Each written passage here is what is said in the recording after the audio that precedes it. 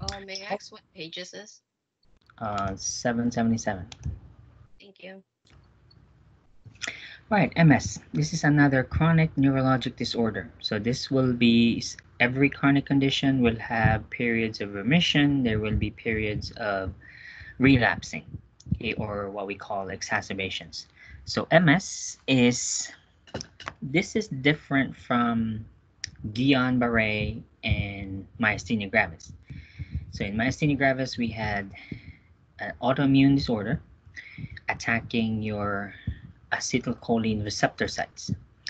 In Guillain-Barré syndrome, it was a acute um, autoimmune condition resulting from the uh, either a uh, viral infection or from let's say a uh, bacterial infection such as Campylobacter um, and we also had um, flu vaccination okay so some some type of exposure to a virus okay usually so that was the problem in Guillain-Barré in multiple sclerosis we already talked about Guillain-Barré right Yes.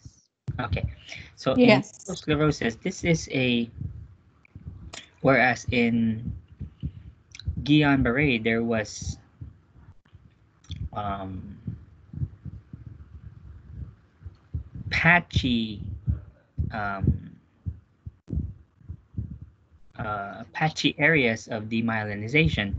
This one is um, is still demyelination. Demyelination. Um, however, this is also uh, autoimmune. So here you will have instead of having resting tremors in like in Parkinson's, in multiple sclerosis, you'll have fatigue, you have some pain, you also have uh, intention tremors here. Because there are patchy plaques all along your nerves caused by demyelination, there will be no continuous muscle contraction, meaning the impulses cannot be um, cannot be continuous. Okay, unlike in um, myasthenia gravis, wherein you had weakness, progressive weakness with every repetitive activity, this one occurs with any activity. There is no progressive um, weakness. However, there will be severe um, tremors with intention whenever the patient makes a purposeful movement. Along with that movement disorder, though, there are other problems associated with MS as a result of the demyelination. I'm not testing the type, like uh, for instance, um, relapsing, everything. Uh, so we're only discussing this one. Okay, so not the other types, only the relapsing remitting type, because since this is the most common. Uh, look at the age of incidence. It occurs in women 20s and 30s. Uh, I know it says here twice as, um, oh yeah, it does say uh, more women. Okay, so I was right. Okay, so more women than men. And what are you doing when you're in your 20s and 30s, which you're at right now? So what are you guys doing? Living our best lives, running around. Yeah, so you're still trying to, you know, uh, trying to get to your careers, and then pretty soon, in a few months, you'll be practicing those careers. Then imagine getting the news developing this. This is a lifelong disorder. You can only control it, but there is no cure, as with any other autoimmune disorder. So for this type, you'll have good days, and then you'll also have bad days. So you'll have good periods of remission. However, when exposed to certain things, you will be uh, into relapse. And guess what the trigger is? Stress. And stress is very subjective. Uh, nursing school is stressful. Uh, getting pregnant is stressful. Um, having a boyfriend is stressful. Losing one is stressful. Um, again, this is all relative, right? So losing one might not be um, stressful for some of you. Um, so that's what I mean by it's very subjective. Uh, regardless of the stress, however it is perceived, it is a trigger for a um, what is this here? No, uh, disregard this one. I don't know what this is doing. We're not talking about HNP. Okay, we get that. All right, go back to MS. So your manifestations are, like I said, the patient has tremors. In uh, in addition to that, you'll als- also have eye uh, symptoms. So you'll have double vision or maybe um, vision loss in one eye. Uh, you have pain. There will be electric shock sensations, uh, tremors, as I already mentioned, uh, along with an unsteady gait. There, you're tired all the time and you may get dizzy. There's also numbness or weakness in one or more limbs. Now imagine having these during an exacerbation. When you have a flare up, you'll have these symptoms. How can you go to work?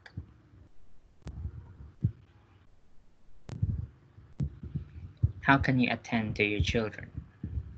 Can't. You can't. All right. So you'll have this is what's happening to you. You have areas of demyelination. Uh, some areas will be good.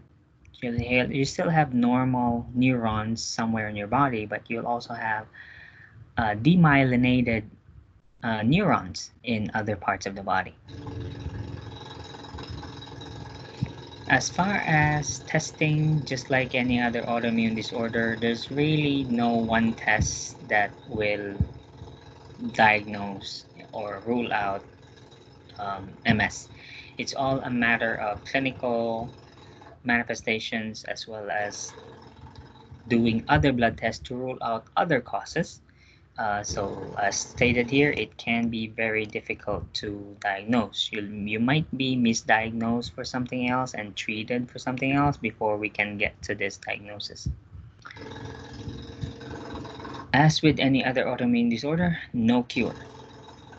So all we can do is keep you in remission using medications. So you'll be taking medications daily in order to keep you in remission. During attacks, though, obviously the medications you're using every day uh, are not going to be effective during a flare-up because you've been on these medications before the flare-up. So during flare-ups, you'll be taking high-dose steroids in order because it is a autoimmune disorder. So that's the only way we can um, we can control your symptoms during a, a flare-up. So you have increased demyelination. They do get um, they do uh, regenerate. All right. So every time these happen, they regenerate. That's why you have remissions. However, during an attack, so you'll have autoantibodies in your plasma, so they start attacking them again, then you have the symptoms. Let's go to medications now. Your day-to-day medications will consist of immunomodulators. So since it's a autoimmune disorder, now we'll have to suppress your immune system. There are different types. We have oral, we have injections. Most of the drugs used are injectables. They are subcutaneous injections, specifically beta interferons. If you recall your um, what's happening to Tamara? Is She having internet connections? Max is having internet problems. He can't get back on because there's a thunderstorm that took out his internet. Okay. He's still trying, but it's not letting him. Tammy's not here too, right? I will. Tamara. I'm here, Professor. Uh, what are you appearing as? It's, it's, I'm on my phone because I'm driving into work. So I should say my name. Ah, okay.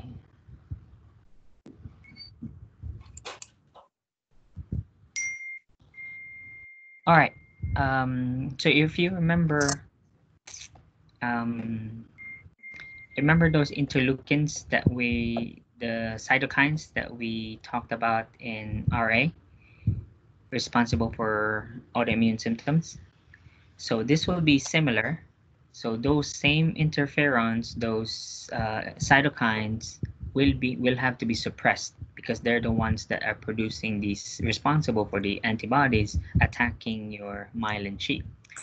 So the drugs are we have interferons, we have beta interferons and beta 1b interferons. The most commonly used are the following glatiramer and fingolimod. Fingolimod is PO. Glatiramer is a subcutaneous injection. It looks like Lovenox. It's a pre-filled syringe.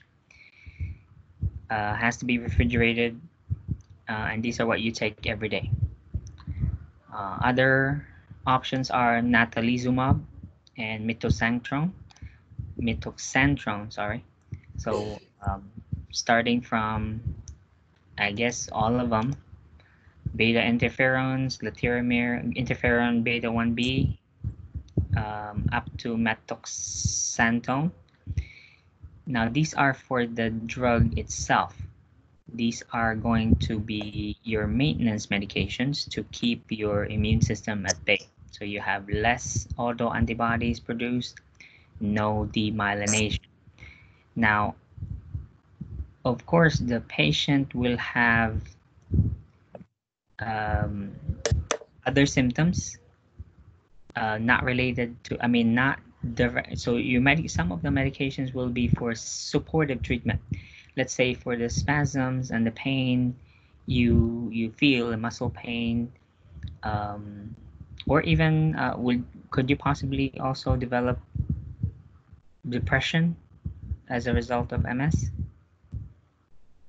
Yes.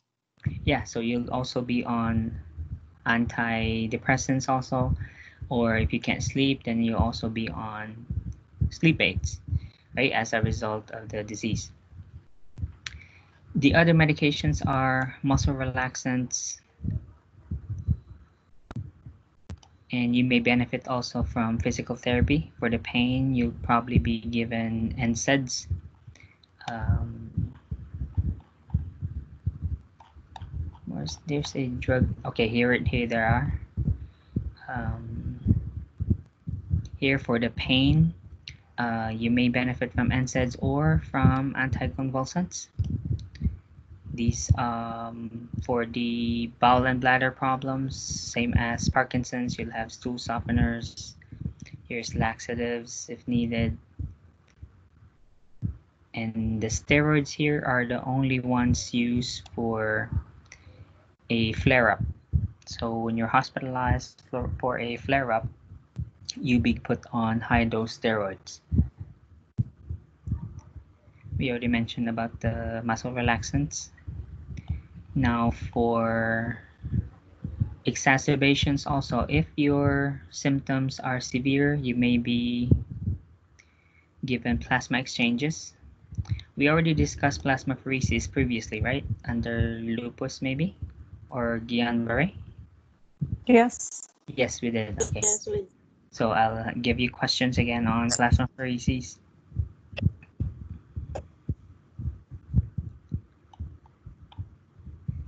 So for the drugs, you'll have multiple here. So we already had drugs for Parkinson's. Now you have more for MS. It's a drug, so questions will of course be on either the side effects or your client teaching.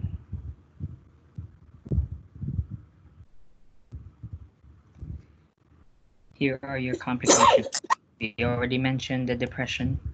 Uh, patient may be also developing seizures secondary to MS. Uh, this is what you take your muscle relaxants for. Um, This is why you need the physical therapy. Um, sexual function is also affected. Uh, again, you are between 20 to 30 years old, so this will contribute to social relationships. Um, pregnancy. Let's talk about pregnancy for a minute. You think pregnancy will result in a flare up as well? Yes. Yes, because it's also Yes. stress. That's very stressful, so it can cause a flare up at the same time. So that should be something to be considered as well.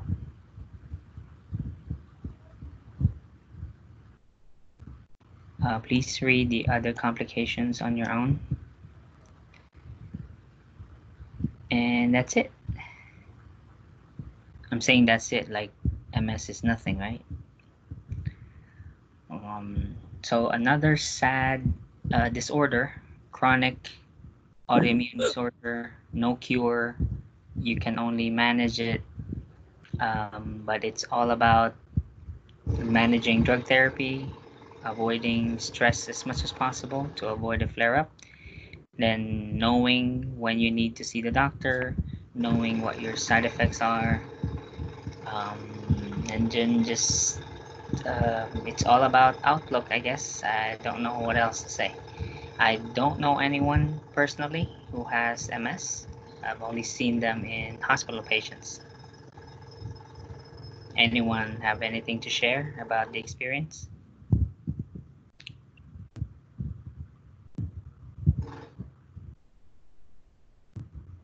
Anybody know anyone with MS? I do, but I've never really seen her have an exacerbation. Um, but she did mention that after she had a baby, her MS got better. Say again.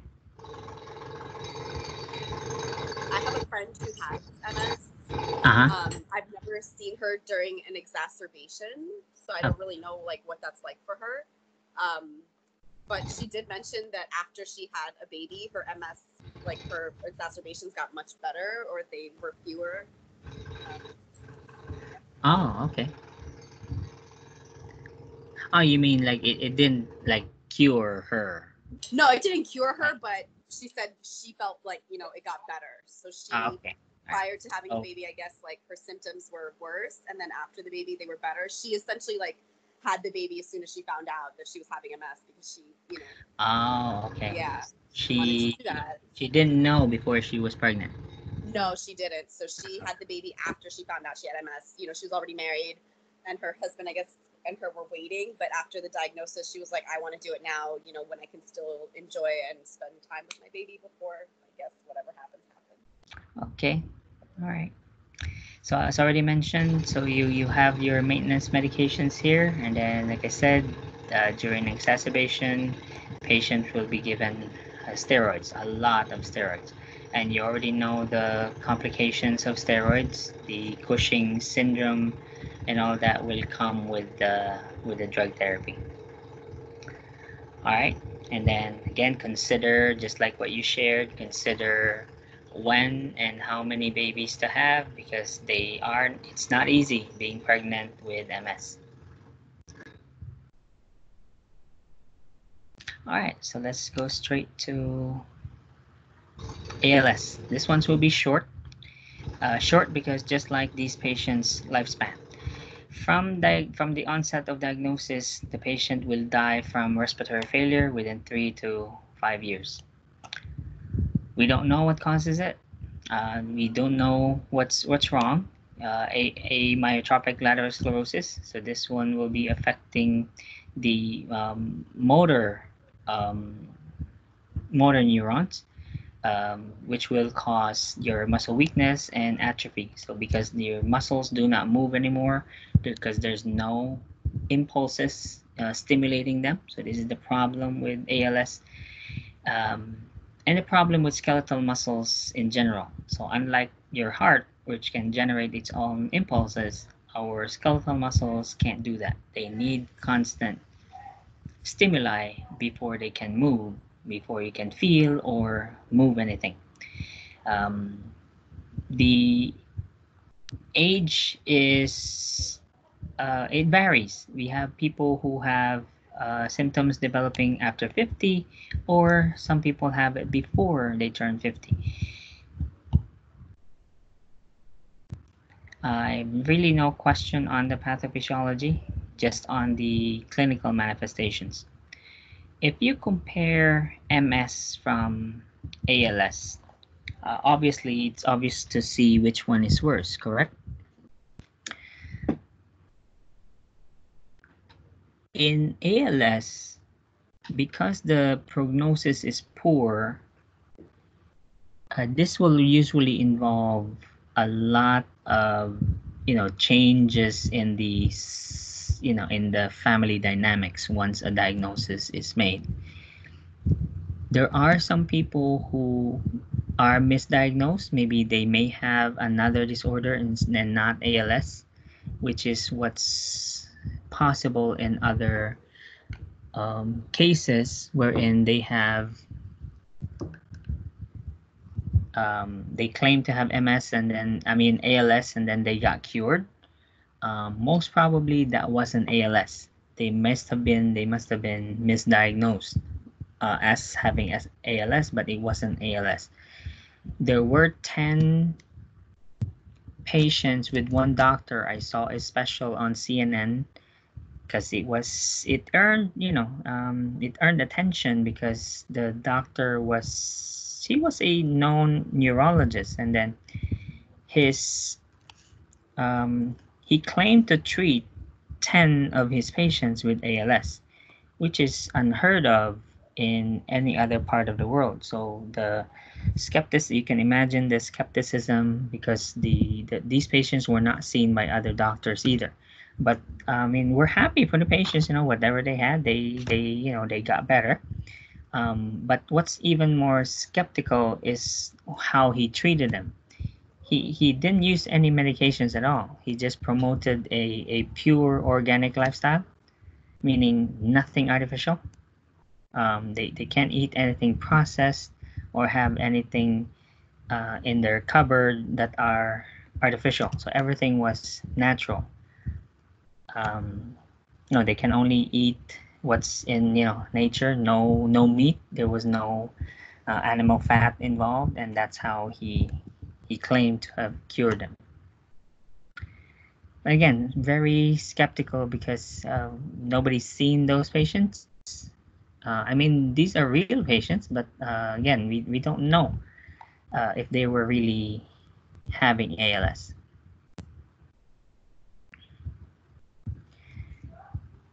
I won't test you on these uh, diagnostic tests because again, there's no one test. Uh, imagine, look at this list. Okay, they are used more again to rule out other causes before they can conclude that you have ALS. Uh, lumbar puncture may also be used. Again, the EMGs, uh, whatever all these other tests are done, they are not used to diagnose ALS. They're used to uh, rule out other conditions here to rule out other conditions. There's only one drug known, but it's not to cure ALS. Riluzole will only slow the degree, disease progression, buying the patient time. So it will uh, allow the patient more time with the family before they are intubated. Okay, because Uh-huh. the end result here is they'll end up on a ventilator because the the the um, diaphragm will eventually go, um, and of course at that point they'll have to be intubated. So the patient will have a choice here. You, they can you know do advanced directives. Do they want to be intubated? Because either way, it won't change the outcome. Intubation will just prolong you. I mean, you're there, you're physically there, but then um, I mean, there's no interaction or anything, right? Because you're you're on a vent uh, for the rest of however long you have. So some patients here have time to prepare, write their advanced directives down. Do they want to be intubated uh, when they come to that point? Um, we don't know. The bad thing about the drug Riluzole is it um, it's very harmful to the liver. It's very hepatotoxic um, So that's the major side effect of the drug. The rest of the treatment are symptomatic, no laxatives, stool softeners, baclofen for the spasms, uh, antidepressants, you know, for for pain, anticholinergics maybe for the drooling. Um, patients will have, you know, sleep problems. So they're all symptomatic. They're but um, this drug again is the only FDA approved drug. But uh, again, it's only for slowing the progression.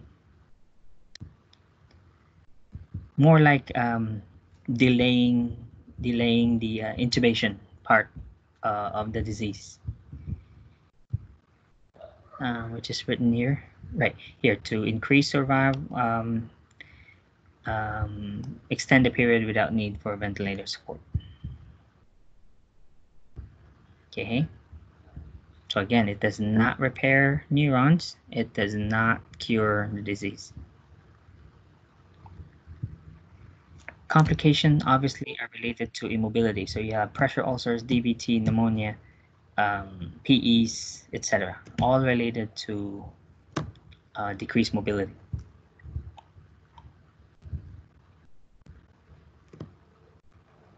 All right, and as already mentioned, most of these drugs here are symptomatic relief, and this is your only drug related directly to the, to the disease. And that's it. Any question? Uh, so because we're not using diagnoses to rule out, is there any specific test that would confirm ALS?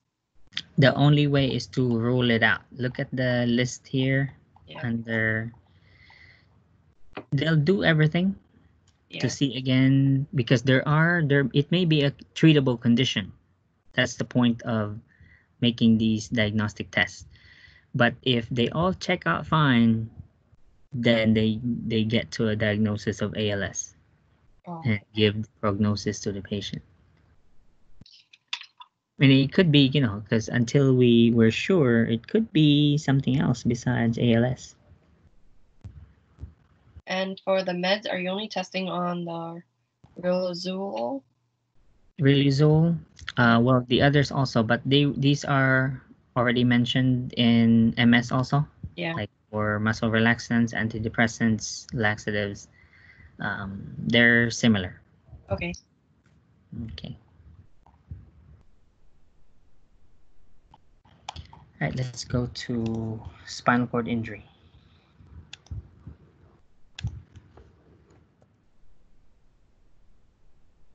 This is not written in your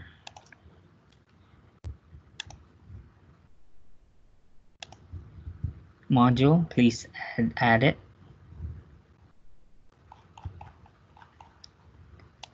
A page. 785 spinal injury. okay, thank you. 785. Yes.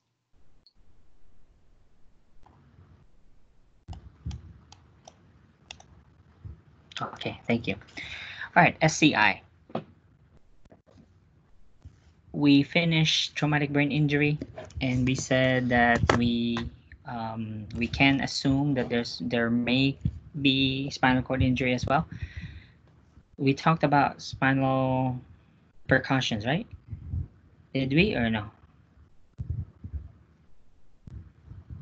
Probably not. No, no. All right, so let's begin with uh, causes of injuries. So it could be any of these, uh, similar to the mechanisms involved in traumatic brain injury. So hypertension, extension, hyperflexion, rotation, compression, or penetrating injuries. So you got shot, stabbed in the spine. You fell from six stories up, landed on either your feet or your head. Either way, it will cause compression of the vertebr- vertebral column uh, rotation injuries or car accidents, for instance. So your spine and your as well as your head will be twisted, turned, however you sustain the injury. So the main thing here is there's something called spinal shock and spinal cord injury. They're not the same.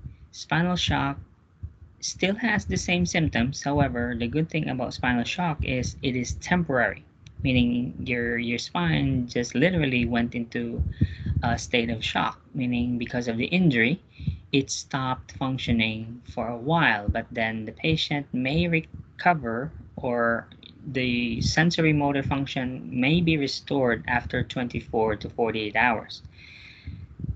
Um, if there is no physical damage to the spinal cord as shown on the MRI or CAT scan, it could be the patient's loss of sensory motor function could very well be spinal shock only, which is good news. However, when the patient has these actual physical evidence of injury to the spinal cord, then it is spinal cord injury. So these sensory motor functions, depending on the level of the injury, are permanent.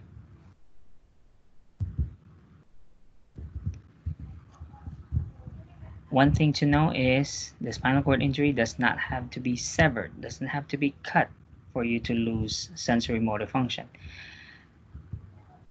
as evidenced by these. So there could be just compression, tearing. So none of these say that it was actually severed, right? So there is still injury to the spinal cord.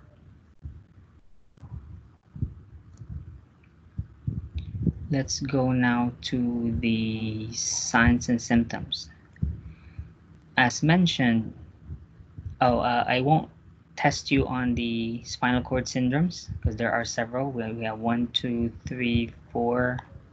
There's actually six of them, but um, there's four here. Anyway, regardless, I'm not testing the signs and symptoms for cord syndromes.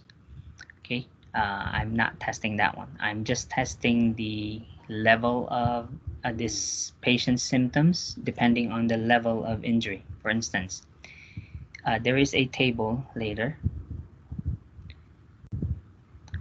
For instance, if you have a high cervical, let's say C1, C2, uh, C3, or of course above C4, so that would be C1, 2, and 3, patient will have no ability to breathe independently. And they will be quadriplegic or tetraplegic is another term tetra four so quadri four um, so patient will be on either a mechanical ventilator or at least on uh, BiPAP or CPAP. Okay. Lower thoracic injuries, uh, of course, the patient will be paraplegic, so they may have some control over their arms. The strength, though, and the extent of what they can do with the arms, whether or not they can push themselves on a wheelchair or if they'll rely on a electric uh, motorized wheelchair, will depend on how, how what level of thoracic injury do they have. Lumbosacral, of course, these are all um, paraplegics, definitely. However, um, they may have problems with bladders and the bowel. So no innervation to the bowel or bladder. So therefore, no uh, no ability to contract them. No peristalsis. They will have to have a GI, a bowel regimen of stool softeners, and if needed, they'll have to do manual disimpaction. And for their bladder, they'll have to straight cath for the rest of their life. Sexual function varies. They may have erection.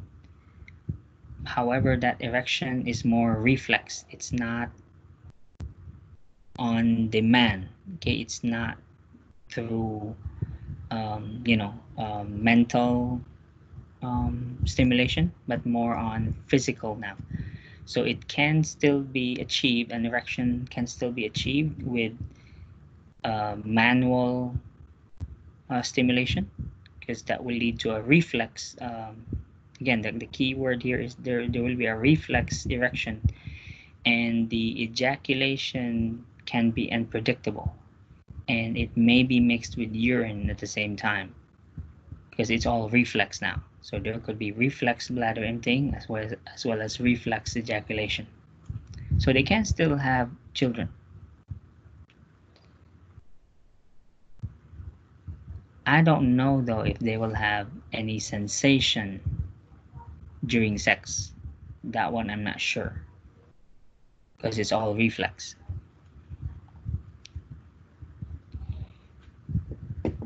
So to make a diagnosis of the level of injury, obviously we needed the x-ray or at least a CAT scan or MRI would be better. So this is the testable part. Table 37.6. You need to know, well, at what level do they have what function? So C1, C4, patient is quadriplegic. So of course, the higher they go, that means all these below will also be included. Does that make sense? Yes. Yes. Yes. Yes. Okay, so- yeah, so anything below that level, meaning uh, if you read the table, that means this is the best they can do. C1, C4, that's it. Meaning everything else here are also present. Okay. So uh, question would be, let's say I give you an example. Can a patient with a C6 injury drive a car?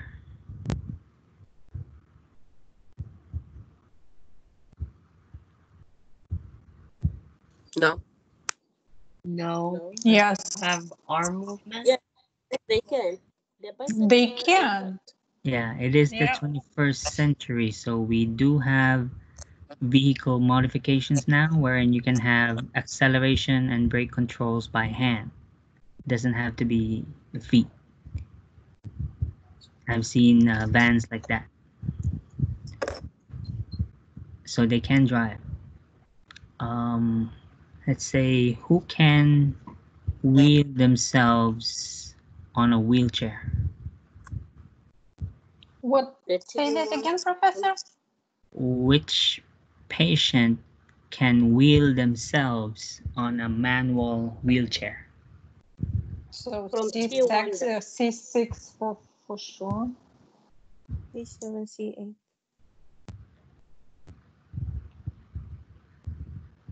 Yeah, definitely C7, right? So these Yeah. guys can do that. So this one only says biceps. So it didn't mention triceps. So it may they may not be very effective with um, pushing themselves forward because that's what you need. For maybe they can. What about the hand faster. muscles in order to grip The the wheels, Professor? The hand muscles? Because it says it only has Yeah, they some have function. some function intrinsic of- hand muscles. Yeah, some fun- So how are they able to grip Um, the wheelchair? Oh yeah, you have a point there. thinking, yeah. So would it not yeah, be that's T1 to was saying T5? If you want to down, go down. This one would be normal, Yeah. but this one also Yeah. has some function here. So these guys may be able to do that too. Maybe not as well, but they can. Probably Okay, not. so no. it's it's definitely C7 to C8. Yeah, but they can't. I don't think they can uh, compete in the Paralympics. Let's put it that way, because there's no way they'll win. There's Okay, so no they'll be able to, but with difficulty. Yeah. Okay. if they don't have a choice. Oh yeah, that's true. That that Okay. too. Professor, but if it's a, a electric scooter, it should be okay with that. That, yeah, Oh yeah, that you only, yeah you only need your you know one finger fingers. Yeah. Right. to push the joystick or a button, right? Right. So would that be C5, C6 with the motorized? Yeah, because they still have gross arm movements. Yeah. Okay.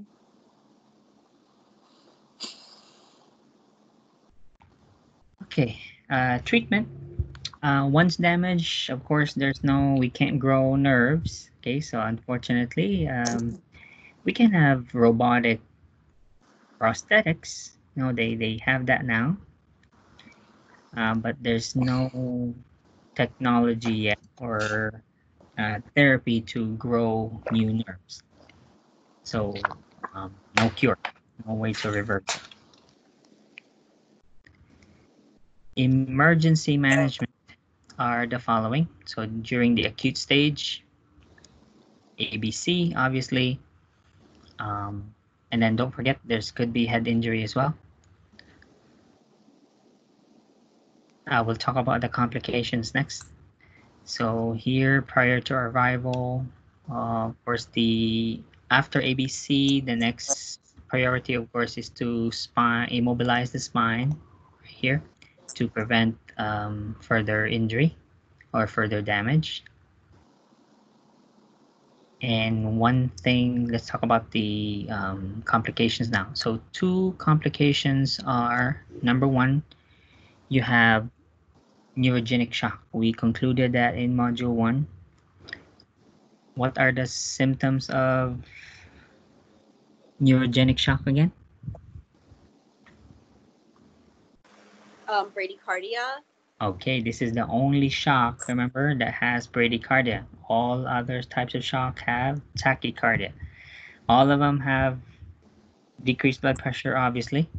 Um, this patient will also have, um, will they have cool, clammy skin or will they? No, it will be dry. Right, because they have, Warm, dry. right, because they have vasodilation, right? So they'll Yeah. feel warm, they'll actually look good. Um, that's if they have shock, all right? Uh, obviously, if there's no shock, then it's we don't have those.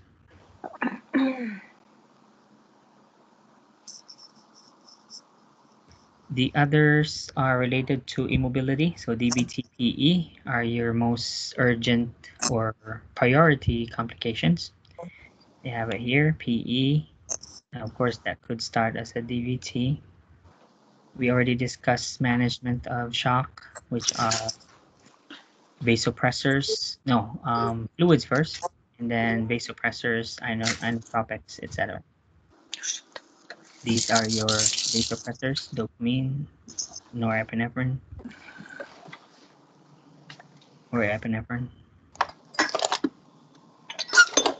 We already tested these, I don't think I'm testing them again. We already did them in shock. Okay, so you can disregard table 37.7. But you still need to recognize and identify the neurogenic, but no need for the intervention.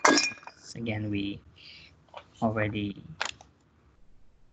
discussed and tested that previously. All right, after the acute stage, meaning we've already applied the um, spinal collar, the, the cervical collar, I mean. Um, after that, the patient is out of the, let's say they're stabilized, no more, no spinal, no neurogenic shock, no spinal shock. So we're just managing them at home. Uh, or this actually is started in the hospital. So we have a trail, halo traction device. So this is, of course, so for there is no permanent um, spinal cord uh, loss of uh, sensory motor function here, meaning the patients had spinal shock and then they recover. However, the recovery will take time, so we need to uh, realign the spine. Most commonly used is a halo traction. So this is just like the same concept as the traction you discussed in the leg or arm uh, fractures when you uh, use uh, external fixation device. So this one is the same. This one is put around the head. We have a picture here. So it's this is your halo traction. We have four rods connected to a fiberglass vest. There is a wrench behind this patient. Not pictured, we don't have a posterior picture. So behind the patient, there's a wrench to remove these here during an emergency. Say patient goes into cardiac arrest, we need to do CPR, the, the vest has to be removed. So we have a wrench attached to the back at all times for that purpose. Now the just like any other external fixation device, these are drilled into the bone. In this instance, the skull. So you'll have to do pin pin site care. Uh, here using saline. Uh, the old practice was to use hydrogen peroxide, but but now they only reserve peroxide for um, for actual infections. But uh, routine would be saline. You have to do daily pin site care or as needed. If you see any um, crusting or drainage, eh, then it's time to change the the the dressings around them. The dressings is simply dry gauze, so you just wrap it around the site. Some doctors may order a betadine ointment to retard bacterial growth around the pin insertion site. Uh, but uh, in the absence of that specific order, it's just saline.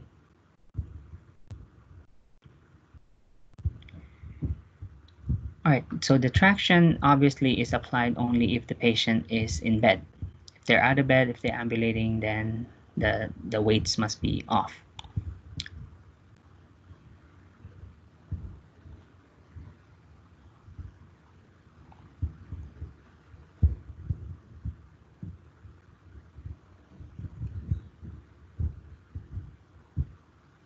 We already talked about the shock and the PE, DVT. All right. All right, see the spinal shock, like I said, this is not shock. This is not neurogenic shock. The patient is temporarily, the keyword here is temporarily, uh, unable to transmit signals to the muscles and organs, so no sensory motor function below the level of injury. The good thing again is this is self-limiting. So this can last anywhere between 24 hours to up to after a few weeks. Then there will be return of function gradually. We already discussed and tested neurogenic shock as well as management. We'll skip that. This one we haven't yet and we will end here for spinal cord injury. Years later, this is this typically does not occur uh, during the acute episode. So the most common time it occurs is after the first year. So the spinal shock here subsides. Uh, the patient is already at home, learning how to live their life uh, differently because this occurs in T5, T6 or above injuries. So are these patients quads or paraplegics?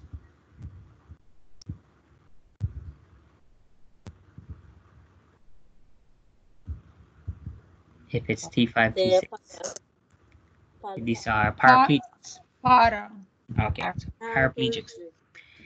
Mhm. um I, so after the first year they as they heal so of course these are these people are back to whatever they were doing of course at the different level now uh, relatively different so they have they have a wheelchair and these are what age are usually uh, paraplegics are these old people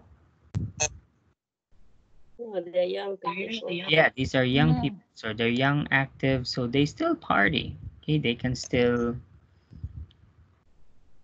um, you know attend parties they still drink smoke uh, just like regular people their age okay just without you know the benefit of walking okay um because of that so remember they have bowel and bladder problems right because it's T5, T6. So can they urinate independently? No. No. So there's no sensation below the the diaphragm pretty much. Okay, so they have no bladder or bowel sensation or control. All they have below the diaphragm are spasms. Okay, they have pain, they'll have the spasmic spastic pain, you know, they'll have spastic movements, but no voluntary movements. So can they feel if they have a fecal impaction or a urinary retention? No. No. no. Okay. So Oh. um, they typically self-cath. Okay, so they, they do self-cath every now and then. But sometimes because they're still learning, so this is after the first year. So let's say they've never had this condition before. So they were not aware of what exactly triggers this. This is an emergency. This is a life-threatening condition. The the trigger here are the following. See the highlighted section? Pain, distended bladder, rapid temperature changes, infection, which includes a UTI. Can these patients have a UTI if they frequently straight cath? Yeah. Yes.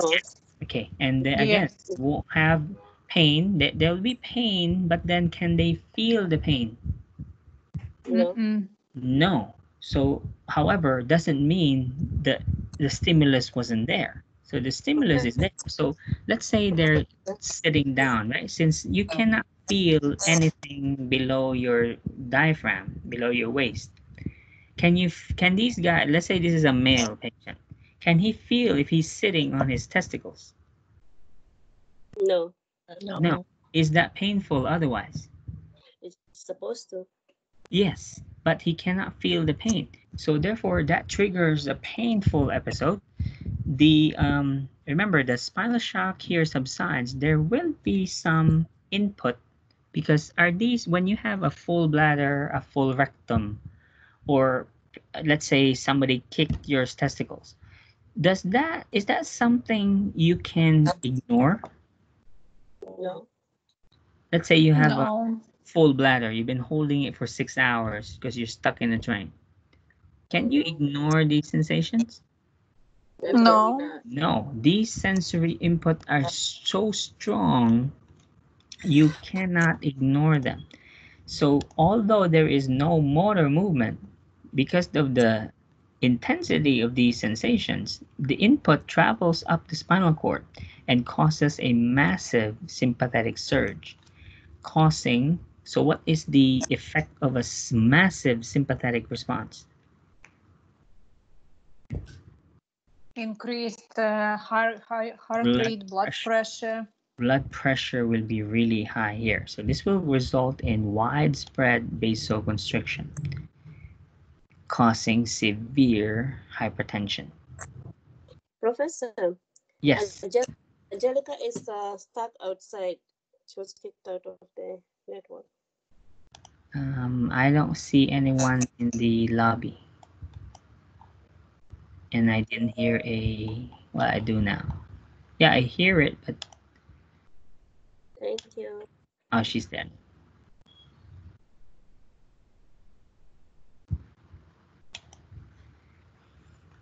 All right. Ho- however, uh, just like in um, neuro neurogenic shock, wherein was there tachycardia and neurogenic shock? No, it's a No. bradycardia. Same thing here. In uh, neuro, uh, autonomic dysreflexia, there will also be bradycardia. I don't know why they included tachycardia here. Because all other textbooks show bradycardia. Uh, I can't explain why there would be tachycardia um, because, again, no textbook, no other author mentions that. In autonomic dysreflexia, these are your clinical manifestations. Again, do not include tachycardia All right. Uh, because uh, I've never seen that in any other textbook. So again, remember questions on exam is uh, because you don't want to deal with this because it's uh, life-threatening. The patient could have a hemorrhagic stroke as a result uh, and die right there. Um, so you need to do prevention. So again, the causes are the following. Okay, uh, but be aware also that pain may be from a crushed testicle or from a pressure ulcer as well. Remember that there is pain sensation there. The patient just cannot feel it, right? You have so if you have this patient has a severe stage three or stage four pressure ulcer, for instance, that is also a trigger. All right.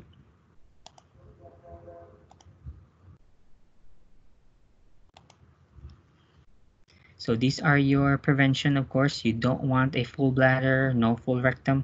It happens when usually when the patients have too much to drink because they are paraplegic but they're not dead. Okay, so they do attend parties, they drink, okay, they they eat, you know, just like any other. They do drugs, okay, so just like any other person. However, you know, when you're under drugs or when you're drunk, do you still remember to self cath and stuff? No. No. Plus, remember, No, yeah, remember they cannot feel that their bladder is full. Okay, they can only do it, you know, just because they can, they have to do it. Okay, that's why they they do it regularly. They self cath. But once you're under the influence and all and all that, so they may develop this without knowing it. Okay, next thing they know, they do feel the the headache. Okay, they do feel this. So when they have a severe headache, uh, of course, that already means that the blood pressure is so high, right? Because normally hypertension has no symptom, right? Unless it's really high. So the severe headache here, the diaphoresis, and the flushing. Funny thing is, these only occur above the level of injury. So it will only occur, let's say if this patient has T6, it will only occur at T6 and above. There is no pallor or diaphoresis in the uh, no no flushing below the level of injury so instead below the level injury you'll have pallor. So other causes are again the full bladder bowel uh, tight clothing can also do it. Uh, dvts pressure ulcer like i mentioned um, because again they don't have a um, you know they have no sensation. So typically they not aware of these um, of these triggers. Like wearing a tight clothing for instance. There's no way they can feel that a clothing is tight right? And then they have pressure ulcers. They, they have no idea. You know i mean they're probably aware that they have a pressure ulcer but they can't feel it. Much more so the bladder or kidney infection. So what do we do? This is a emergency. So therefore here you have a uh, emergency treatment. First thing is to sit the patient up.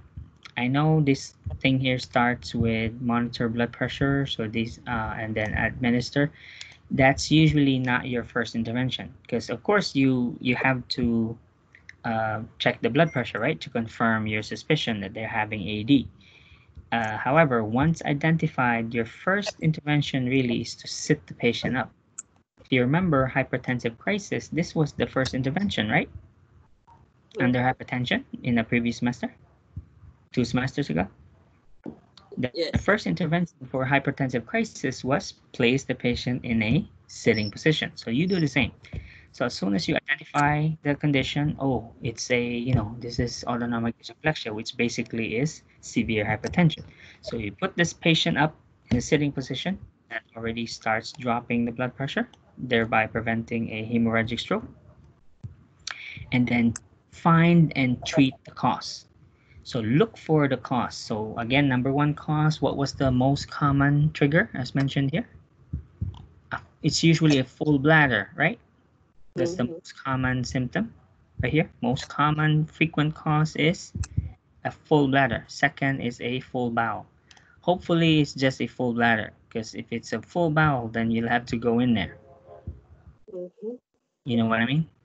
Yep. Yeah. But do so, of course, bring a lots of lubricant. Okay. Yeah. Then, uh, if those two check out, then look for other causes. Maybe the patient's sitting on his testicles. Okay, maybe it's the uh, clothing. Okay, something he's wearing that's you know causing the uh, restriction. Uh, you know, a the something constrictive clothing, or could be a painful source or something. Um, all right, so look for the uh, the trigger. And then once identified, you of course eliminate the trigger.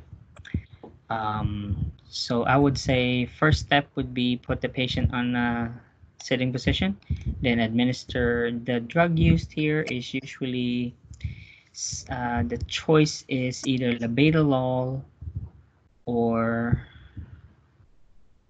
um, hydralazine because hydralazine is a ganglionic blocking agent, which is what's really triggering this thing.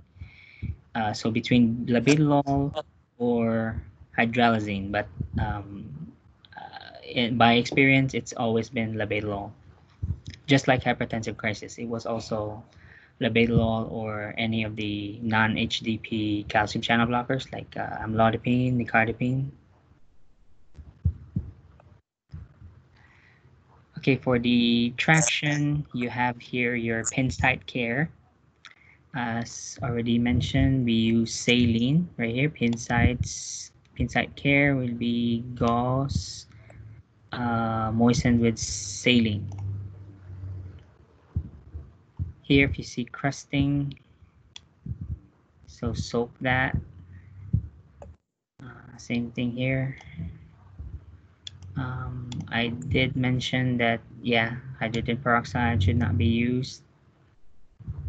Um, remember, this is traction, okay? So you need the weight applied and that the, the rods or the pins are intact, that they're tight, because otherwise, what's the purpose of the traction? There is no traction if they're loose.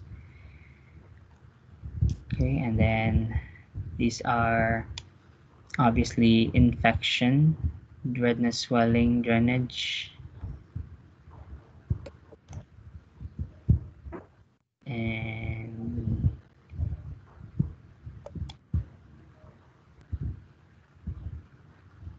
all right, and then if these are present, then that means we have no traction, we have no adequate traction. So doctor needs to be notified so we can he can adjust it.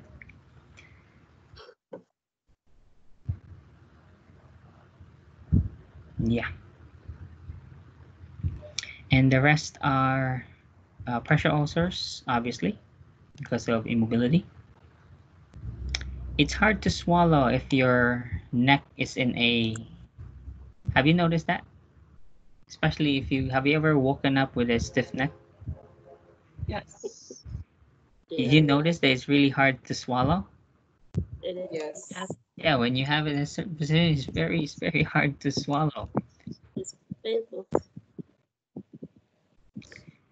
Um, I'm, I have no questions on surgery. So these are involving um, decompression surgeries. PLIF, PLIF is, uh, I forgot PLIF, lumbar interbody, posterior lumbar interbody fusion. Yeah.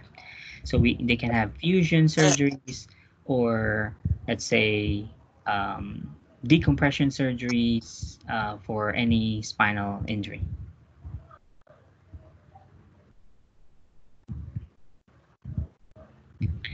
We already know these. This is just li- listed by system.